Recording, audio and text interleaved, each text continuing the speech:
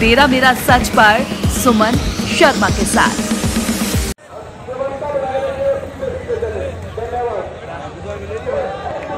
ऐसा लग रहा है सर?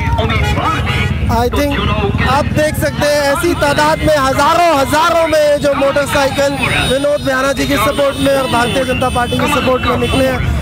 ऐसा देखे बनता है। ये ले भाई। परसों बोलेंगे। क्या पूछ रहा है? हाँ कितने वोटों से सर जीत रहे हो? पचास हज़ार से अधिक वोटों से। और आज जो ये जो शक्ति प्रदर्शन करके दिखाया इसकी बेनिफिट आपको कितना होगा?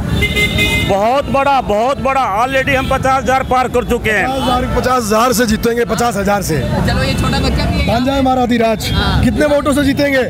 फिफ्टी थाउज़ेंड प्लस पचास हज़ार प्लस पचास हज़ार प्लस बोल चुके हैं पचास हज़ार प्लस चलिए हाँ साहिल कैसा लग रहा है आज का ये शक्ति प्रदर्शन देखा जा रहा है पूरे शहर में?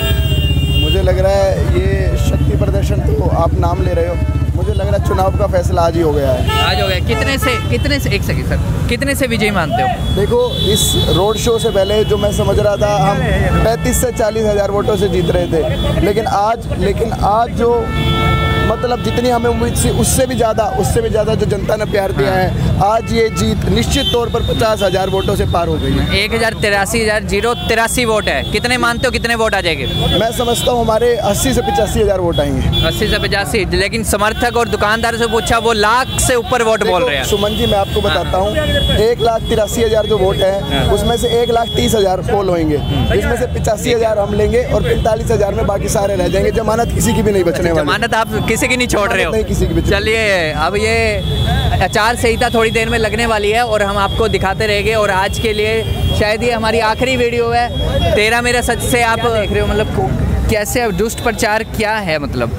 दुष्प्रचार मतलब कि ये कि दूसरे जब पार्टी के विरोधी हैं हारे हुए लोग हैं वो आपसे लड़ाई करने की कोशिश कर सकते हैं आपके साथ मिसबिहेव कर सकते हैं। तो हमने बिल्कुल सबके आगे हाथ जोड़कर किसी को कुछ नहीं कहना।